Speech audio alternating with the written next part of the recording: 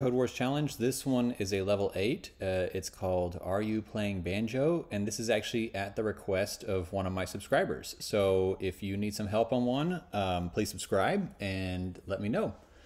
Um, all right, so this one, we're going to create a function that answers the question, Are you playing banjo? Uh, if your name starts with the letter R, so there's the name parameter coming in, uh, or lowercase r, you are playing banjo. Uh, the function takes a name as its only argument and returns one of the following strings. The name plays banjo or the name does not play banjo. Okay, so with that, uh, the first thing we need to do is we're going to say um, if we're going to lowercase the name, so we're going to say name dot lower, and then we're going to grab the first letter.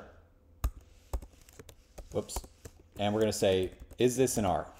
Okay, if it is, then we're going to return uh, name plus, the, and then we're going to go you got to watch this space here. So we're going to do space uh, plays banjo. So here we'll go space plays banjo.